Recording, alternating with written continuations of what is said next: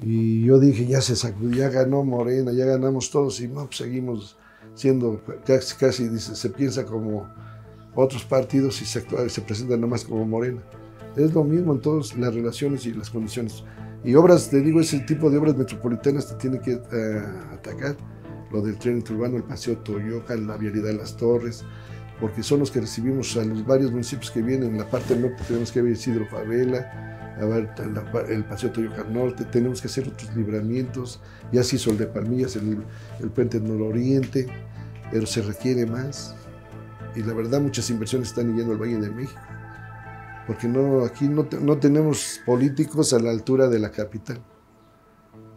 Y sobre todo no tenemos diputados que entiendan el problema de la planeación urbana. De aparte todo, si tú no planeas bien las cosas o no planeas bien la... Es como uno, ¿no? Si no planeas tu vida desde antes, entonces vas viviendo a la suerte, al ritmo de la tómbola, a lo que te caiga.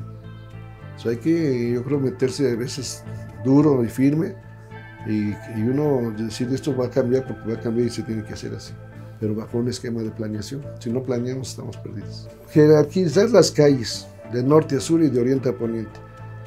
Vigilar y controlar el transporte público y el transporte privado en el sentido de que aquí hay una llave sin control, aquí entran taxis a diestra y siniestra, entran camiones de transportes a diestra y siniestra. Vemos que ya tenemos dos terminales, la, de ferrocarriles que está allá en la parte eh, oriente de, la, ciudad y la terminal que ya crearon aquí en toda la vialidad Morelos, ¿no?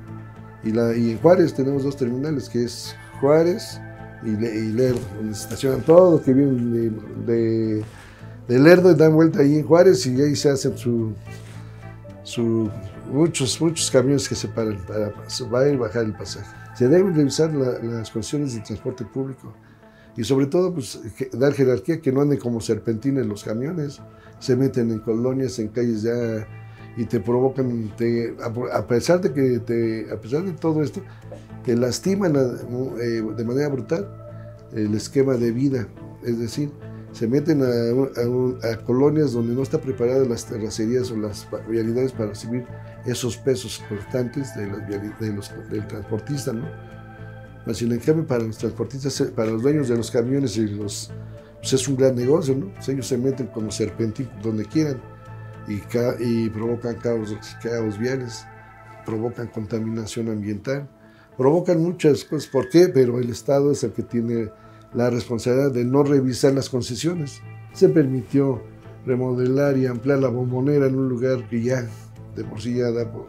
Es un negocio de unos cuantos, de un privado, y que se adueñan de las calles para estacionar carros en todas las avenidas y que asfixia la ciudad. Autorizaron gasolineras como pan caliente. Autorizaron departamentos y viviendas que cumplir con la normatividad. Entonces aquí no le podemos echar la culpa a la gente, a los malos, a la, aquí para que todos se autoricen porque hubo malos presidentes municipales y, cabildos corruptos. Punto, no hay más.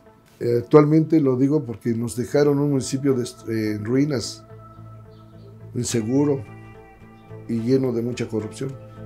Yo espero que ya dentro de poco el presidente dé un pronunciamiento para que diga el daño económico que se tuvo por parte de la administración pública y quiénes son los responsables, porque no pueden andar esos funcionarios en otros ayuntamientos, o no pueden andar en la, o que los haya protegido el gobierno del Estado, o estén metidos en las áreas fiscalizadoras, o estén metidos en la Cámara de Diputados, porque todo el mundo corrió y van, luego se acomodan en otras áreas de gobierno y punto, pero yo lo que nosotros vamos es que ya no no encuentren estos cuates la posibilidad de estar incrustados dentro de la administración pública por corruptos, por simuladores, por tramposos y por hipócritas y por muchas cosas. La responsabilidad de erradicar la corrupción es de todos, no de unos cuantos.